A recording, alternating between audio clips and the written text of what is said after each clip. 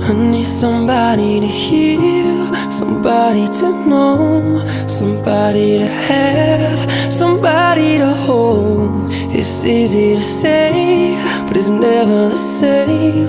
I guess I cut.